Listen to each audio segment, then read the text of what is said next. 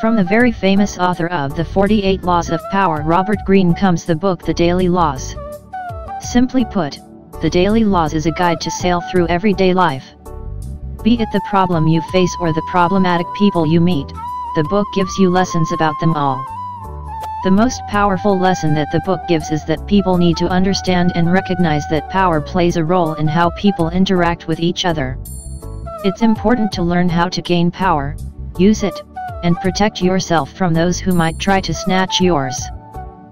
Another important lesson the Daily Laws teaches is that to be successful you have to be skilled at persuading others and making them see things your way.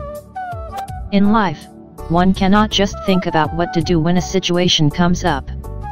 You have to be ready to face the best and the worst. So, approach life with a plan and think ahead about what you want to achieve and how. If you wish to succeed, you must have mastery over one or certain things. You have to be undefeatable in it and work really hard to stay that way. Keep practicing and learning until you're an expert in your chosen field. Living in a society has its own pros and cons.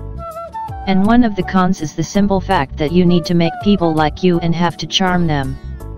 Learning how to stay calm and appealing can help you build relationships and get people on your side. In life, it is important to pay attention to how people behave and why they do the things they do. Be it the occasional smile they might give you to the snide remarks they gave about you, it is important to learn why some people behave in a certain way. Take the time to get to know yourself. More than you know your partner or friend, you should know yourself. Give yourself time to understand your own strengths and weaknesses so you can make better decisions and work on improving yourself. Staying adamant won't take you anywhere and change is now the only constant.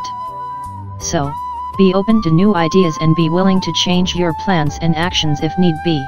Whenever you make a decision don't just see how it affects you right now but also take into account what the long-term implications of the same are. And then make decisions that will benefit you over time.